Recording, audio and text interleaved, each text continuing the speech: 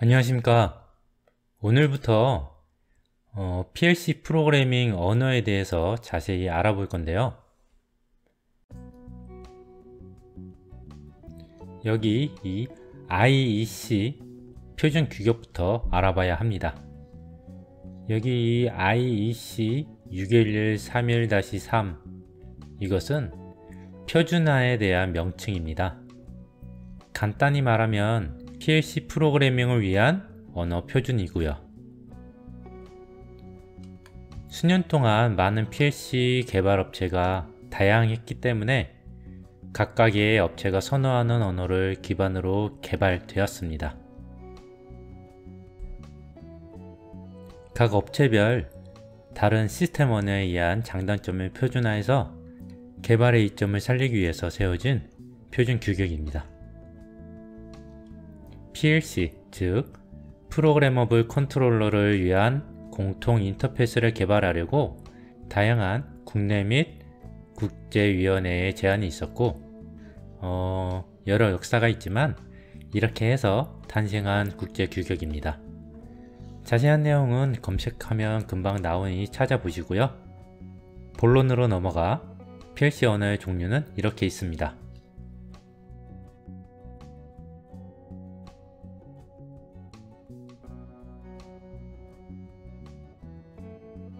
레더 다이어그램 LD는 사다리 모양의 형식이고요. 이 표현 방식은 PLC 프로그램에서 릴레이 전환 작업을 구현하는데 특히 적합합니다. IL Instruction List 이것은 요즘 거의 쓰지 않는 건데요.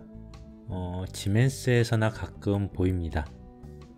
IL의 모든 명령어는 줄바꿈으로 시작하고 하나의 연산자와 하나 또는 여러 개의 피연산자를 포함합니다. SFC는 블럭 단위 순서도로 초급 코딩 배울 때 나오는 그런 형식과 같아요. FB, function block diagram은 function을 블럭화 만들어서 이런 식으로 구성됩니다. function block diagram을 사용한 PLC 프로그래밍은 어, 논리회로에서 비롯되었습니다. 실행 방향은 항상 왼쪽에서 오른쪽이고 FB를 실행하기 전에 항상 모든 입력값이 생성되어야 합니다. 그리고 모든 요소의 출력값이 계산될 때까지 이 회로망은 완료되지 않습니다. 어, 마지막으로 ST, Structure Text는 음, PC 언어에서부터 시작해서 어, 파스칼이라는 언어에 기반되어 PLC에 쓸 수 있도록 만들어진 언어인데요. 어, 이 파스칼이 기본이라서 C 언어와 형식이 비슷하죠. 이 프로그래밍 언어의 경우 어, 기계 지향적인 명령이 아니기 때문에 어, 더 높은 수준의 프로그래밍 수준을 요구합니다. 각각의 언어가 장단점이 다 있는데요. 어, ladder diagram은 이해하기 편하고 debug 찾기가 쉽습니다. 프로그램 하기가 쉽고요. 모니터링 하기도 쉽습니다. 단점이 하나 있는데 이것은 연산에 좀 취약합니다. 그리고 instruction list IL은 logic 언어 자체를 사용하는 언어인데요. 윈도우 프로그램 개발하기 전에 많이 쓰던 언어라서 지금은 그 장단점이 좀 무색해졌어요. 그래서 거의 쓰지 않고요. LD와 IL을 비교해 보면 이렇습니다. 이 ladder에서 IL로 바꿔서 보면 이렇게 바뀌는데요. 이 IL은 AND, OR, NOT 이러한 논리 명령어를 그대로 갖다 쓰는 형식을 취하고 있어요. SFC 시퀀서 펑션 차트 이것은 음, 블록 단위 순서 제어라고 하고요. 순서도라고 생각하시면 됩니다. 이거의 장점은 시퀀서 프로그램 작성이 필요한 모든 것에서 편리합니다. 순서대로 1번, 2번, 3번, 4번 이렇게 yes or no 이런 식으로 이제 만들어지기 때문에 순서대로 그러니까 시퀀스적인 동작을 하기에 상당히 편합니다.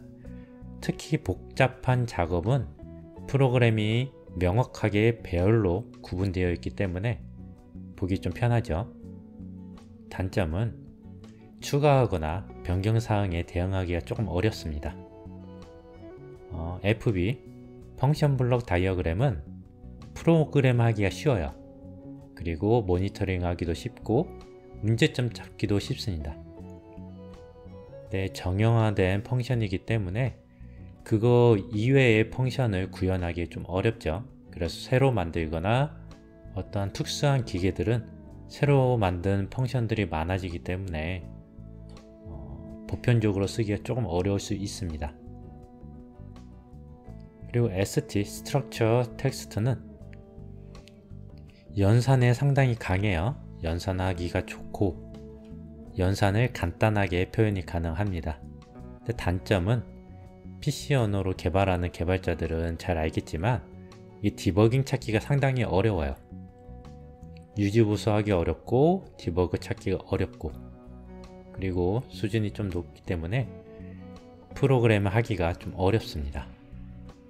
PC에서 S3를 사용하는 것은 거의 없어요. 대부분 그 계산하는 게 많거나 복잡한 데이터를 처리를 하는 거 음, 그리고 PC 언어 개발하던 사람들이 PLC를 이제 하게 될 때 주로 쓰기도 하죠. 개인적인 생각이지만 어, 이각 장 단점을 비교해서 얻은 결론은 레더를 메인으로 하고 반복되는 동작은 FB로 변환해서 쓰고요. 연산 처리는 S3를 사용하면 가장 좋을 것 같아요.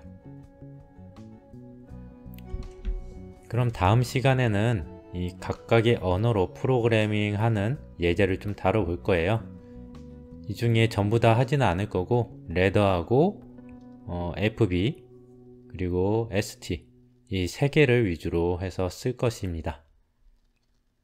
그러면 오늘도 수고 많으셨고요. 엔지니어가 되어받는 날이 올 때까지 실력을 키웁시다. 감사합니다.